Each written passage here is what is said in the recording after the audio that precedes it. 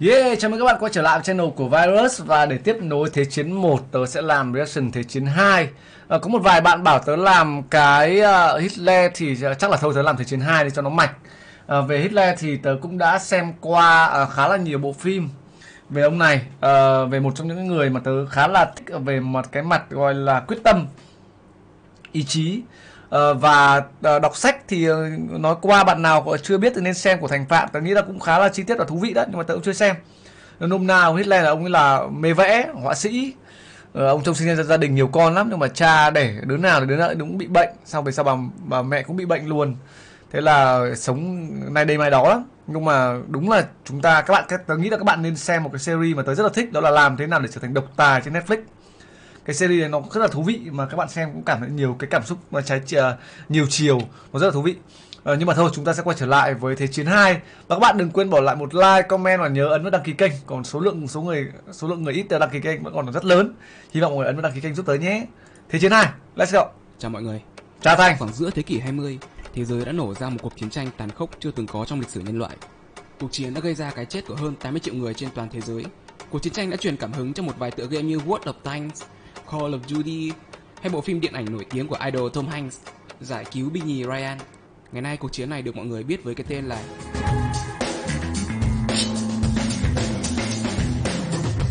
Thế chiến 2 Lúc này thì Hitler đã đã đã đã thành công trong chuyện mà kêu gọi người ủng hộ mình ở Đức rồi. Sau chiến tranh thế giới 1, phe liên minh đầu hàng phe hiệp ước.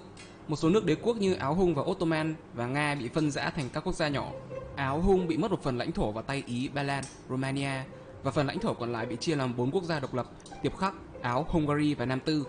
Oh. Đế quốc Ottoman bị mất một phần lãnh thổ vào tay Anh. Ottoman sụp đổ và phân rã thành 6 quốc gia độc lập, bao gồm Thổ Nhĩ Kỳ, Syria, Iraq, Hejaz, Transjordan và Palestine. Palestine, lãnh thổ của hai nước đế quốc Đức và Nga bị thu hẹp lại. Đế quốc Nga sụp đổ và thành lập nhà nước Xô Viết. Lãnh thổ phía tây của nhà nước Xô Viết bị phân thành 7 quốc gia, bao gồm Phần Lan, Estonia, Latvia, Ba Lan, Lithuania, Ukraine và Belarus. Năm 1922, nhà nước Xô Viết thống nhất và sát nhập Belarus và Ukraine, đổi tên thành Liên bang Xô Viết hay còn gọi là Liên Xô.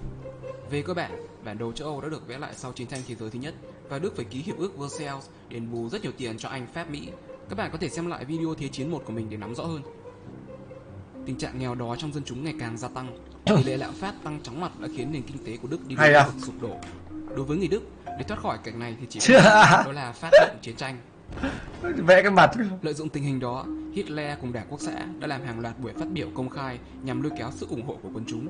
Hitler nhanh tớ tớ có đọc sách và cũng có rất nhiều người um, phân tích về cái trạng thái tâm lý và tại sao họ, Hitler lại chuyển từ một ông họa sĩ sang một cái quyết định như vậy.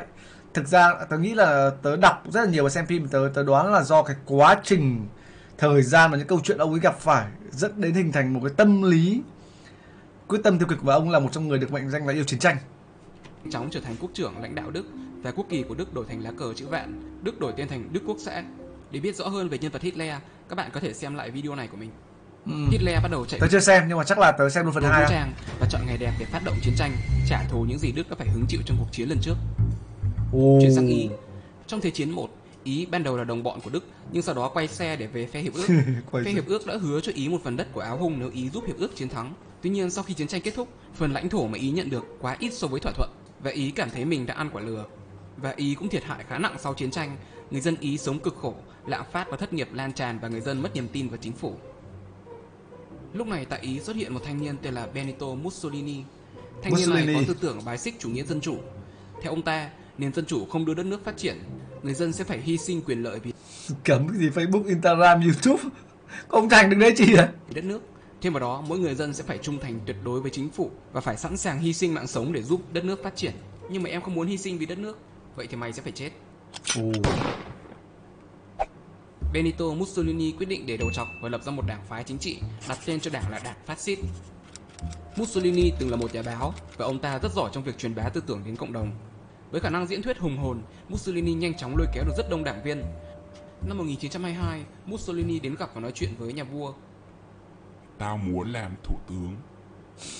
Trước sức ép từ vây cánh của Mussolini, Tao muốn làm thủ tướng. chiến và cách mạng nên đành phải nhượng bộ. Wow. Vậy là Mussolini đã trở thành nhà vua sợ sẽ xảy ra nội chiến. Thì mình vẫn buồn cười là trong một cái đám đông thì đang thành vào cũng xuất hiện ở đâu đấy góc màn hình. cắm vẹn vẽ người mắt lườm lườm chiến và cách mạng nên đành phải nhượng bộ. Vậy là Mussolini đã trở thành thủ tướng Ý vào ngày 31 tháng 10 năm 1922. wow Đảng phát xít của thủ tướng Ý Mussolini đã tạo ra tiếng vang rất lớn trong khu vực châu Âu. Chủ nghĩa phát xít đã được vị quốc trưởng của Đức ủng hộ nhiệt liệt. Mussolini và Hitler cảm thấy có rất nhiều điểm chung, vậy nên hai thanh niên này đã quyết định kết nghĩa huynh đệ.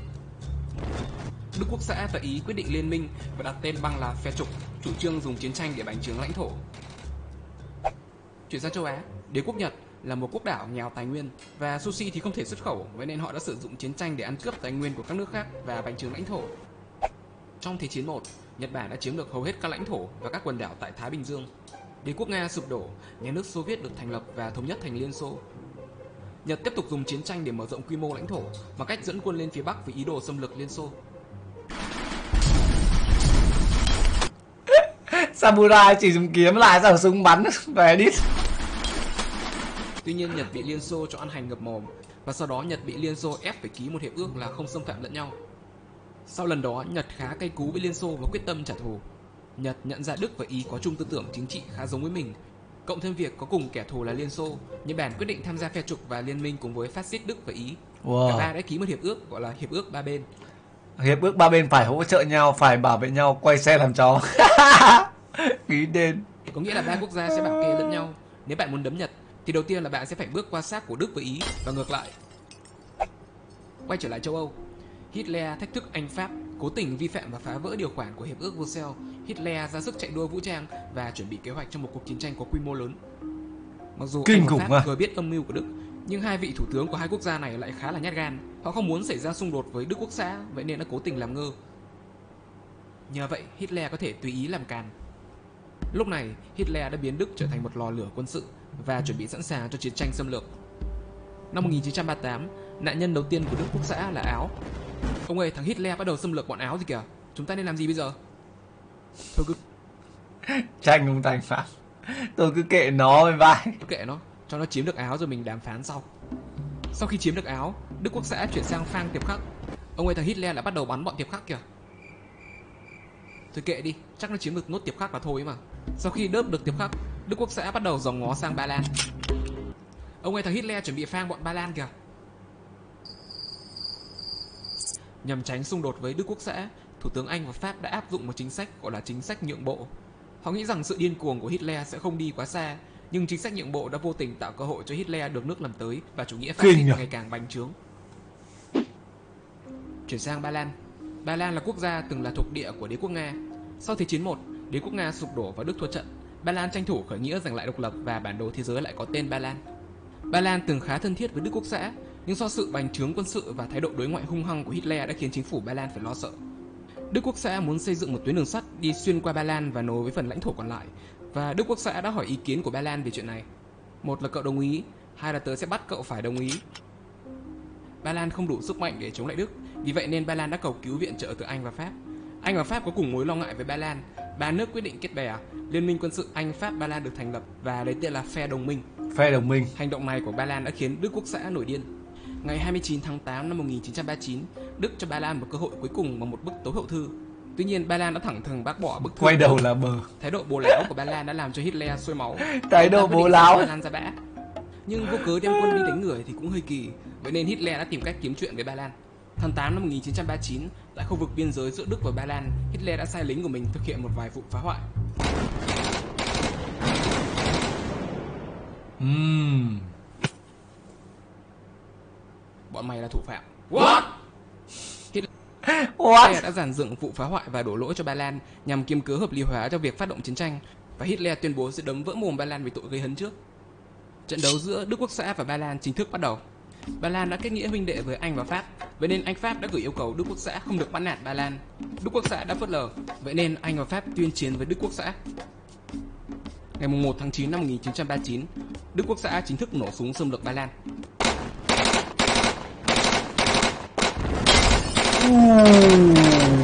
Trong tình cảnh Ba Lan đang bị Đức cho ăn hành, Anh Pháp quyết định sẽ giúp đỡ người huynh đệ Ba Lan bằng cách đứng nhìn Ba Lan bị ăn hành. Bên cạnh Ba Lan là Liên Xô. Trước đó, Liên Xô là một quốc gia mới được thành lập và lúc Liên Xô vẫn còn đang oằn lưng khắc phục hậu quả sau Thế chiến 1, Ba Lan đã tranh thủ phát động chiến tranh và chiếm được vùng Tây Ukraine và Tây Belarus. Và Liên Xô đã cay với Ba Lan từ lần đó. Tranh thủ lúc này Ba Lan đang bị Đức xâm lược, lãnh đạo tối cao của Liên Xô là Joseph Stalin quyết định mượn gió bẻ măng trả thù Ba Lan. Liên Xô dẫn quân xâm lược phần còn lại của Ba Lan từ hướng đông, chiếm lại vùng thuộc địa bị Ba Lan cướp trước đó. Và Ba Lan lúc này đang ở trong tình thế bị ăn vả sắp mặt, phía trước là Đức, phía sau là Liên Xô. Trong khi đó, Pháp và Anh vẫn ngồi nhìn. Mày đoán thằng nào thắng? Tao đoán quả này Ba Lan toang. Kết quả, Ba Lan Thành người lắm chuyện đã thật ăn thất thủ, đất nước bị chia làm đôi. Chúng ta xem là chúng ta sẽ cảm nhận được cái những cái quyết định của những người đứng đầu đất nước là rất là khó khăn và khó thực sự các bạn không đơn giản đâu và đúng mỗi thời sẽ xuất hiện như vậy và đúng là là là là là chúng ta càng học càng đọc và càng thấy được nhiều cái giai đoạn rất là thú vị và nó đặc biệt trong cuộc đời này một nửa Đức chiếm, một nửa Liên Xô chiếm. Và ngày nay mọi người gọi cuộc chiến này là cuộc chiến tranh kỳ quặc. Funny War Sau khi kỳ đẹp Ba. Lan, Đức và Liên Xô lại là hàng xóm của nhau. Ừm. Và để tránh xung đột, Hitler và Stalin thiết lập mối quan hệ ngoại giao thân thiện. Sau đó một cuộc thương lượng đã diễn ra giữa Hitler và thủ tướng của Anh Pháp. Từ nay tao sẽ cai trị Ba Lan. Một là chúng mày đồng ý, hai là bắn nhau. Bọn tao không đồng ý. Ồ chiến luôn Về phía Liên Xô, Liên Xô muốn tạo ảnh hưởng tại phía Bắc châu Âu và đề nghị các nước nhỏ phải cho phép Liên Xô được đóng quân trong đất nước của họ. Riêng Phần Lan bật lại đề nghị này. Quá cay trước thái độ bố láo của Phần Lan, Liên Xô nổ súng xâm lược Phần Lan, Phần Lan toang và mất một vùng lãnh thổ vào tay Liên Xô. Sức ảnh hưởng của Liên Xô ngày càng lớn. Đức Quốc xã sợ Liên Xô sẽ mạnh hơn mình nên bắt đầu có thái độ thù địch với Liên Xô và quan hệ hai nước bắt đầu trở nên căng thẳng. Quay trở lại Đức, để chuẩn bị cho chiến tranh, Đức cần phải nhập khẩu rất nhiều các loại nguyên liệu từ Thụy Điển như sắt, thể luôn nguyên liệu các thứ là ông này ông lấy dụng cụ Minecraft ra. để đóng tàu, máy bay và xe tăng.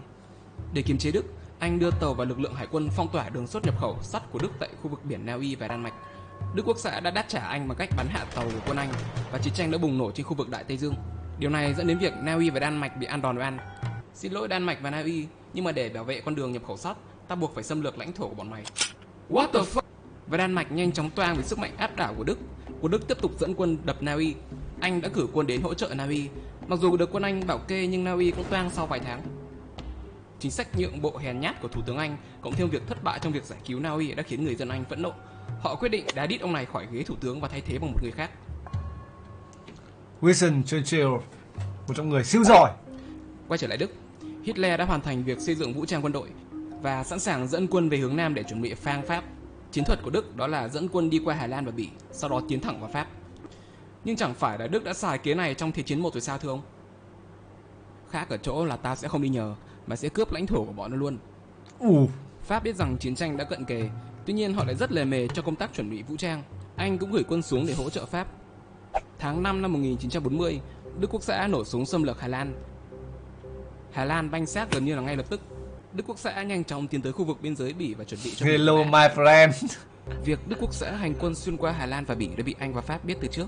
Trong lúc Bỉ và Đức đang tẩn nhau, Anh Pháp tranh thủ xây dựng hàng phòng thủ ở biên giới Pháp Bỉ. Tuy nhiên, Bỉ toang nhanh hơn so với Anh và Pháp dự kiến trong khi Anh và Pháp vẫn chưa kịp xây dựng xong hàng phòng thủ. Quân Pháp Anh quyết định chủ động dẫn quân vào Bỉ để đụng độ trực tiếp với Đức. Cuộc chiến diễn ra trên đất Bỉ và trận đấu giữa Anh, Pháp và Đức bắt đầu.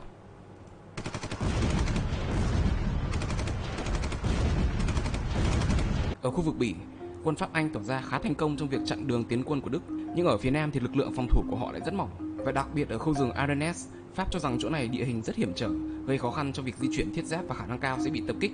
Và Pháp cho rằng Hitler không đời nào dám liều lĩnh tiến quân qua khu rừng này. Vì thế Pháp đã chủ quan lơ là phòng thủ khu vực này. Tuy nhiên Pháp không ngờ rằng việc tiến quân qua khu rừng lại nằm trong kế hoạch chính của Hitler. Hitler đã chia lực lượng làm đôi, một cánh chiến đấu tại Bỉ, còn một cánh tiến quân xuyên qua khu rừng. Đến khi Pháp nhận ra thì đã muộn. Cánh quân của Đức đã kịp thời chia cắt lực lượng và bao vây quân của Pháp Anh. Quân Pháp Anh bị dồn và chạy như vịt về phía eo biển. Lực lượng binh sĩ tinh nhuệ nhất của Pháp đã bị Đức giết và bắt làm tù binh, trong khi Anh phải đưa tàu đến để cứu binh sĩ của họ về nước. Quân Đức nhanh chóng thừa thắng xông lên và thâu tóm Paris. Mất thủ đô Paris đồng nghĩa với toang, Pháp chính thức thất thủ. Những gì người Đức không làm được trong Thế chiến 1, Hitler đã làm. Kinh nhỉ. Vậy là sau Giỏi ha. Đức Pháp, phần thắng đã thuộc về Đức và Anh giờ đây chỉ có một mình đơn độc. Hitler khuyên thủ tướng Anh hãy đầu hàng, nhưng Anh cực kỳ cứng đầu. Vì thế Hitler bắt đầu lên kế hoạch cho bọn Anh một bài học. Và tiếp theo sẽ là trận đấu Churchill giữa ông ấy giỏi lắm, ông giỏi cả về mặt tài chính lẫn Hitler liên quan đến đối ngoại. thủ đô London Chính trị giỏi. Ông ta Đọc lên kế hay hoạch lắm. thả bom vào các công trình quân sự và kinh tế, tấn công Ồ. các khu dân sự. Thủ đô London sẽ thiệt hại nặng nề và Anh sẽ phải đầu hàng. Tháng 7 năm 1940, máy bay của hai bên bắt đầu cất cánh và bắn nhau ác liệt trên bầu trời của nước Anh. Ngoài ra Hitler còn cho giải bom nhằm hủy diệt thủ đô London. Cuộc sống của người dân Anh bị đảo lộn. Việc xuống hầm trú bom gần như là chuyện thường ngày đối với họ. Vua George và nữ hoàng Elizabeth đã không chạy trốn để tránh bom mà ở lại London để chống cự cùng với dân chúng. Mặc dù hàng chục nghìn người đã thiệt mạng nhưng người dân London thật sự có một tinh thần thép. Họ kiên cường và đoàn kết cùng nhau vượt qua giai đoạn khó khăn và điều này đã giúp quân đội Anh có thêm niềm tin để chiến đấu chống lại phát xít Đức. Lực lượng của hai bên là ngang nhau. Tuy nhiên khi máy bay của Anh bị hỏng, họ lập tức có phụ tùng thay thế và sửa chữa trong khi Đức thì không. Lợi thế dần nghiêng về phía Anh. Nếu tình trạng này càng kéo dài thì Đức thiệt hại càng nặng. Vì vậy Hitler buộc phải tạm dừng kế hoạch xâm lược Anh vô thời hạn. Kết quả trận đấu, Anh Đức hòa nhau. Mỹ lúc này là một quốc gia trung lập. Trước khi thế chiến nổ ra, Mỹ đã tuyên bố ta sẽ không bao giờ rơi vào chiến tranh. Tuy nhiên Tổng thống Mỹ Roosevelt cũng chủ trương phản đối chủ nghĩa phát xít ngay từ đầu. Nên khi chiến tranh nổ ra, Mỹ đã cung cấp vũ khí và viện trợ cho phe đồng minh. Đối với Đức Quốc xã thì đây không khác gì một hành động cà khịa của Mỹ. Để cắt đứt viện trợ của Mỹ tới phe đồng minh, Đức Quốc xã đã bắn chìm rất nhiều tàu chở hàng của Mỹ. Điều này đã khiến Mỹ thẳng thừng tuyên bố sẽ hết mình hỗ trợ phe đồng minh chống lại phe trục. Mặc dù chưa tuyên bố phang nhau trực tiếp với Đức Quốc xã, nhưng hành động của Mỹ cũng được xem là Mỹ đã đặt một chân vào cuộc chiến. Chuyển sang khu vực địa Trung Hải. Nhìn thấy vị huynh đệ Hitler đạt được hay nhỉ tớ, tớ, tớ nghe mà tớ cảm giác như là đang đang xem đang đang đang chơi game đi đang đang xem những người có cái tính những toán công, khi à Mussolini cho khiển rằng đây kiếp sẽ là thời cơ quân. Ý tỏa sáng. Ý tuyên chiến với Anh và bắt đầu đánh chiếm các vùng thuộc địa của Anh tại châu Phi. Ban đầu Ý tấn công phía đông châu Phi và chiến dịch khá thành công, sau đó Ý chuyển sang chiếm Ai Cập. Tuy nhiên chỉ thành công một nửa. Sau đó Ý chuyển sang phang Hy Lạp, tuy nhiên lần này Ý bị ăn hành ngập màu. Sau đó Anh phản công bằng cách tấn công vào căn cứ hải quân của Ý tại thành phố Taranto và Ý mất cùng một lúc ba con tàu chiến.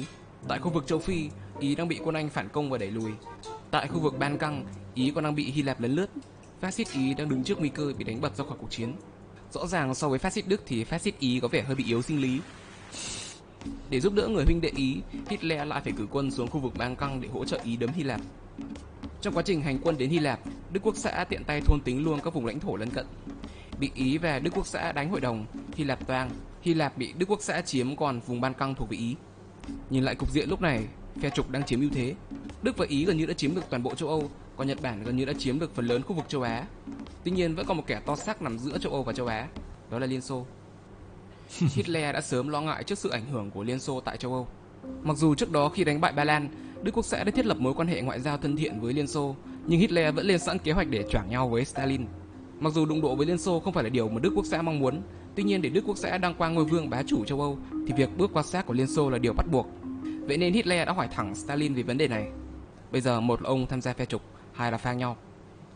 chọn nè Một chút thông tin ngoài lề về lãnh đạo tối cao của Liên bang Joseph Xô Viết, Stalin. Joseph Stalin.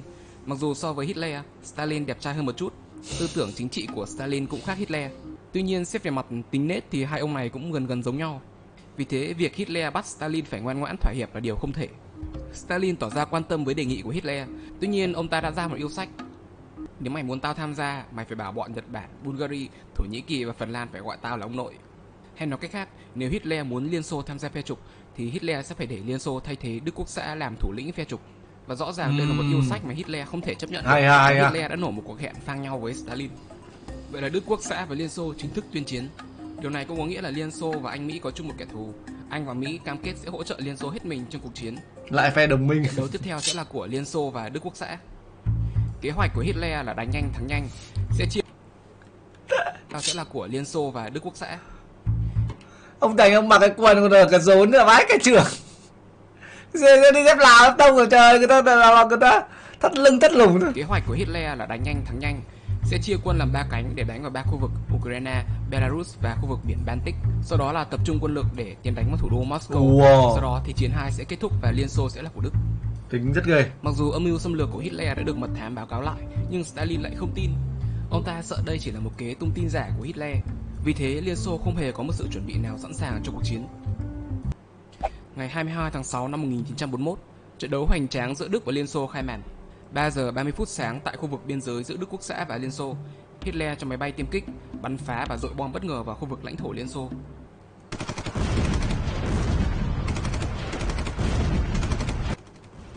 Náo nhiệt thế, đang có lễ hội gì à? Dạ là Hitler đang tấn công lãnh thổ của chúng ta thưa ngài. À, lễ hội Hitler tấn công. Cái gì? Đức tấn công hoàn toàn bất ngờ trong khi Liên Xô không hề chuẩn bị cho cuộc chiến và quân đội của Liên Xô không thể phản công kịp. Tại sao không báo cáo chuyện này sớm hơn hả thằng ngu? Dạ báo rồi nhưng tại ngài không tin chứ ạ? Chỉ trong vài giờ đầu tiên, hơn 1.200 máy bay chiến đấu của Liên Xô đã bị phá hủy ngay trên sân bay mà chưa kịp cất cánh. Không quân Liên Xô gần như tiên liệt. Ờ. trời. Tại khu vực phía Bắc, quân Đức chiếm được hầu hết các quốc gia nhỏ tại khu vực biển Baltic. Hồng quân Liên Xô bị ăn rất nhiều hành và bị dồn đến thành phố Leningrad. Quân Đức nhanh chóng bao vây thành phố. Leningrad bị cô lập hoàn toàn khỏi Liên Xô. Hitler ra lệnh cho quân đội phong tỏa thành phố trong khoảng 871 ngày và đây là một kế hoạch cực kỳ tàn độc của ông ta. Hơn một triệu người dân trong thành phố Leningrad đã bị chết đói và chết rét.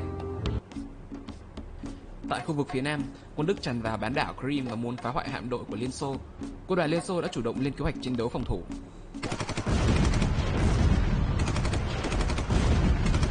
Các binh sĩ Liên Xô đã chiến đấu rất kiên cường.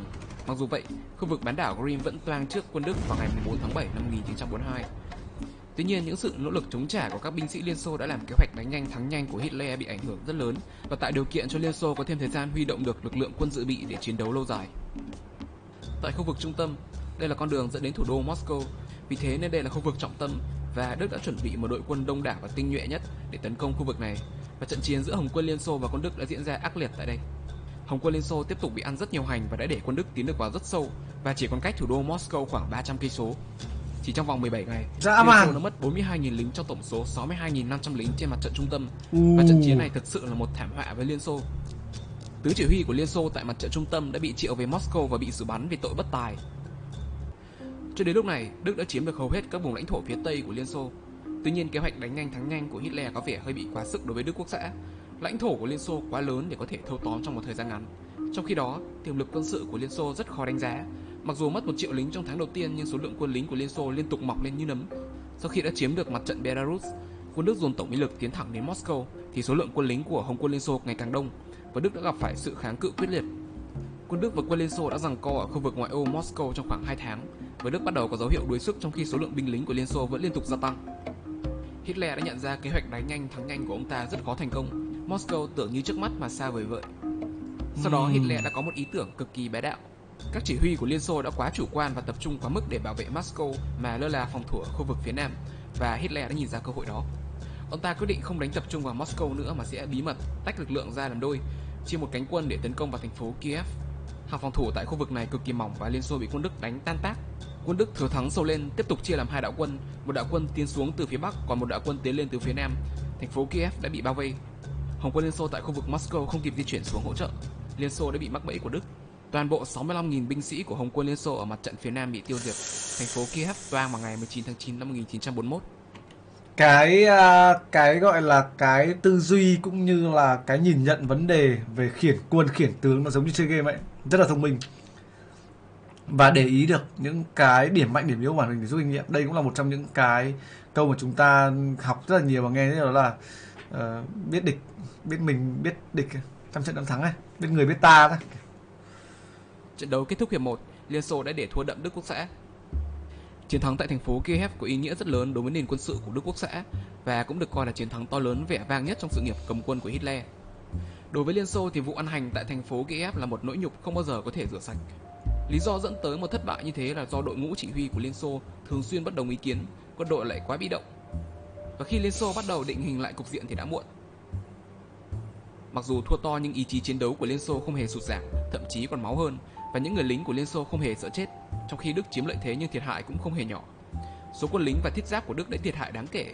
Chưa kể, thời gian mà Đức bận bắn phá thành phố Kiev đã tạo điều kiện cho Moscow có thêm thời gian để chuẩn bị vũ trang cho hiệp 2 của trận đấu. Sau hàng loạt chiến thắng vẻ vang đã khiến Hitler vô cùng đắc ý, ông ta bắt đầu trở nên tự phụ và coi thường đối thủ. Tuy nhiên Hitler không ngờ rằng chiến thắng tại thành phố Kiev sẽ là chiến thắng cuối cùng của Đức Quốc xã trong cuộc chiến này. Và diễn biến tiếp theo của cuộc chiến này sẽ ra sao? Hiệp 2 của trận đấu Xô Đức sẽ được tiếp tục vào hay ha. Xem cuốn quá tớ xem mà tớ cuốn kinh khủng. Ui thỉnh thoảng những cái tình tiết rất là hài hước của của thành phạm thêm vào là một này. Thứ hai là đọc hay xem mà hiểu rất nhiều về cái tình trạng đó rằng là thời điểm đó.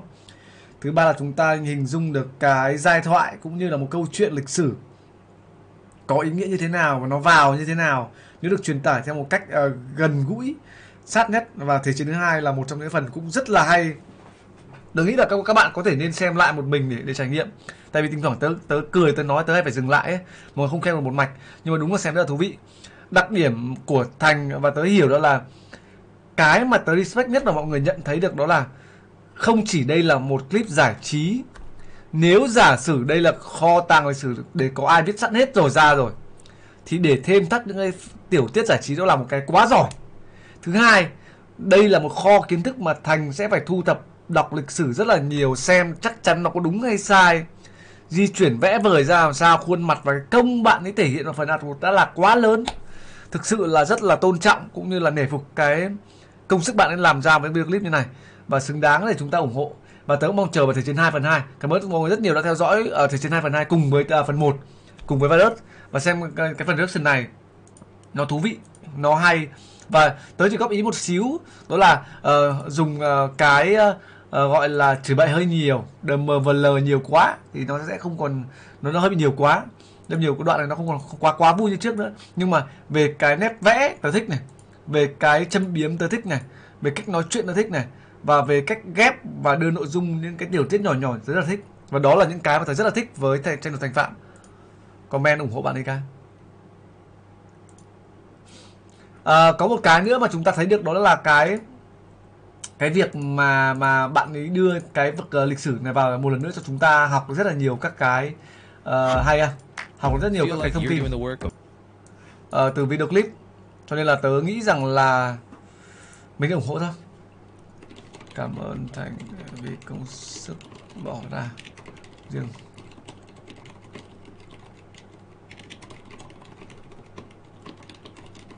rất hóng ra phần 2 sớm. Xem rất cuốn. Cảm ơn rất nhiều nha